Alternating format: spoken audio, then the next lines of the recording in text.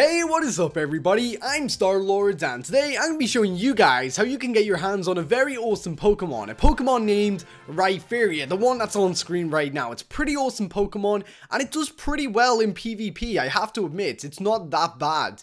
Uh, and just for those of you who are wanting to fill up your Pokedex, this is the perfect guide for you. So make sure that you guys do not forget to like the video and make sure that if you've never seen any of my videos before, go and subscribe to the channel and go and check them out. I've just released a couple of awesome glitches that you guys are not going to want to miss.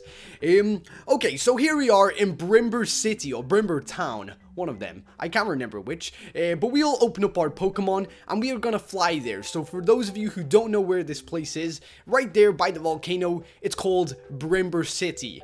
Uh, so what we want to do is just fly over to there, and now we're outside of the Pokemon Center. We're gonna go left from the Pokemon Center and uh, just head down into this little route uh, exchanger thingy kind of thing. You know, it's the when you go to another routes, basically.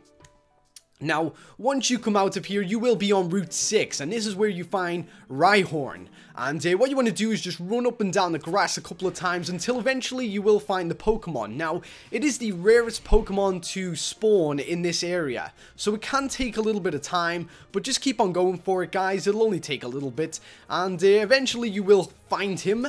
And uh, yeah, what I'm going to do now is try and catch him uh, by using my false swipes, and uh, yeah, from my Pokeball.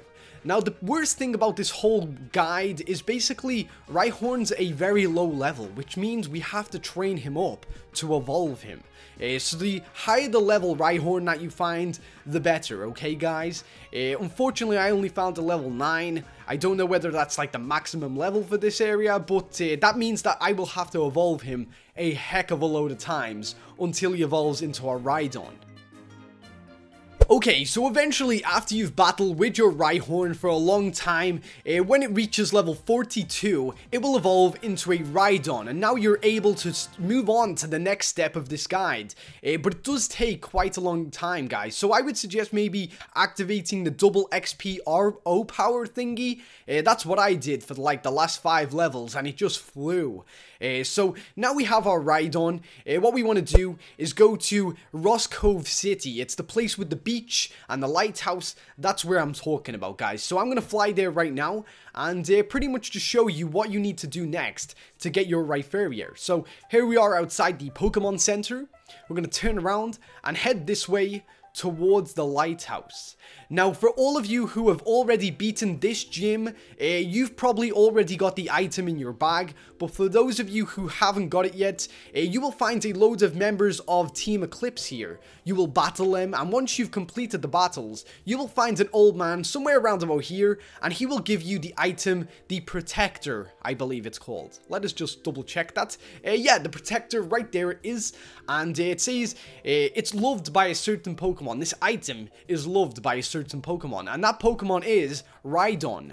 Uh, so what we're going to do is give Rhydon uh, the Protector for him to hold, and now what we must do is go to the uh, trade center and trade him to somebody that you really, really trust. So I'm going to do that right now. Okay, so we're here in the trade center and my friend uh, Super Monkey is going to be trading this Pokemon with me. Uh, so what we're going to do is make sure that we have the item on the actual Pokemon and then give it uh, to Super Monkey. And uh, once they've tra you've traded it to them, tell them if it says that it's evolving, just cancel it out so that you can actually see that animation. Uh, so here I am trading it right now and uh, hopefully it shouldn't take too long. So there you go, Rhydon. I'll see it in a little while, dude. And uh, yeah, now we're just gonna wait for him to trade us back our Pokemon. Okay, so finally, uh, we got our trade back from Super Monkey, and he clicked cancel so that we can see this very awesome animation of him evolving into Right Fairyon. Uh, so what we're gonna do is click ready, click trade, and uh, here he is. We are getting our Rhydon back for the last time. It will evolve in just a second to this very awesome Pokemon. And uh, there you go. What? Rhydon is evolving.